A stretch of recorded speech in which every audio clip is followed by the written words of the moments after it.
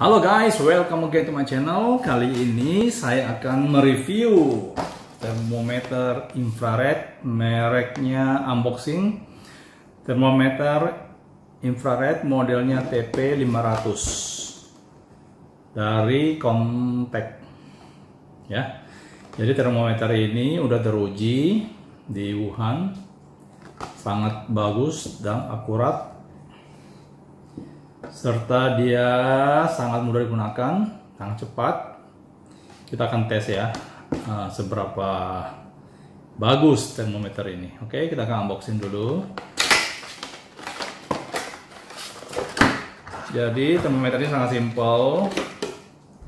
Dia hanya terdiri satu buah.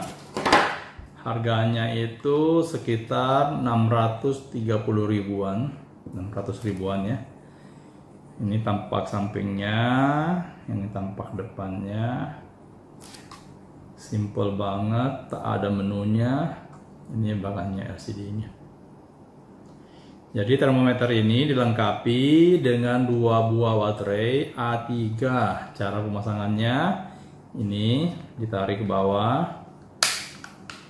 Ya termometernya ini dia. Ya oke. okay. Oke, kita masukin termometer ininya, kita akan tes. Nah,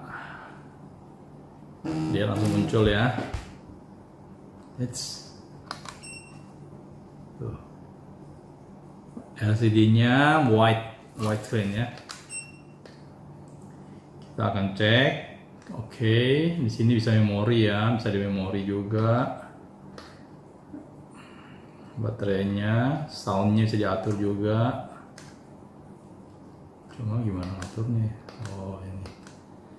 Bisa dipilih mau derajat celcius atau mau pengukurannya apa ya? Mau body atau mau benda oke? okay.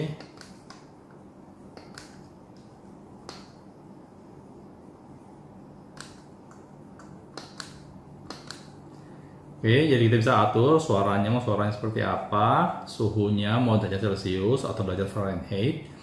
Terus uh, bisa kita atur juga kita mau mengukur uh, body atau permukaan ya. Di sini ada menunya ya.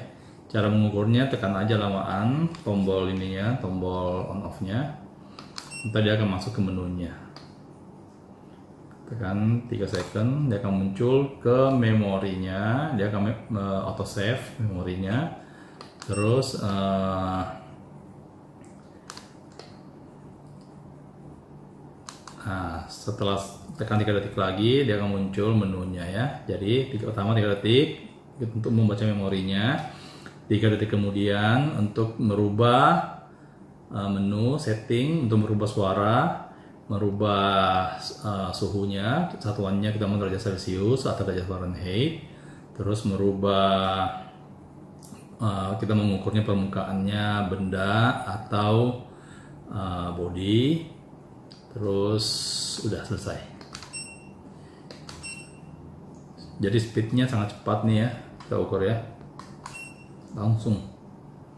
Karena dia ini menggunakan infrared ya langsung muncul dia 36,2 36,2 langsung dia muncul ya sangat bagus sangat bagus ini alatnya ini. Cuma kekurangannya di sini kita nggak tahu nih karena dia nggak ada infrarednya nggak muncul. Kita nggak tahu titik mana yang kita tembak biasanya itu ada keluar infrarednya ada uh, semacam guidance-nya daerah mana yang kita measure. Cuma di sini kita nggak tahu kita kira-kira aja dia mendekati kepala pasien kita tembak dia. Muncul dia ya. Oke. okay.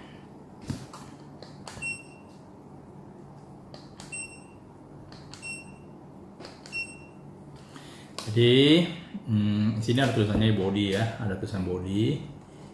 Uh, body untuk pengecekan body ya. Jadi sekali kita pencet dia akan on. Sekali lagi untuk mengukur. Jadi ini kan mati nih mati ya. Tekan sekali dia on. Tekan sekali dia ukur. Jadi sangat simple sangat simple dan sangat cepat. Itu kelebihannya. Kekurangannya itu lampu infrarednya nggak muncul. Ya biasanya jadi kita nggak tahu. Kita nembaknya ke posisi yang mana apalagi uh, infrared ini kan biasanya kita tembaknya kan agak jauhan ya. Jadi kita harus mengetahui guidance-nya di daerah mana yang akan kita ukur.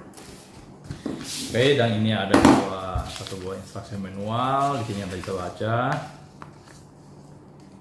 Tata caranya apa aja. Di sini dia ada bilang juga ukur pala, ukur kuping. Kalau kuping agak susah ya, soalnya dia di dalam sini agak terselip. Cuma ya kita coba aja ya. Oke guys, demikianlah review dari kami Ronatec mengenai infrared thermometer merek brandnya Contact.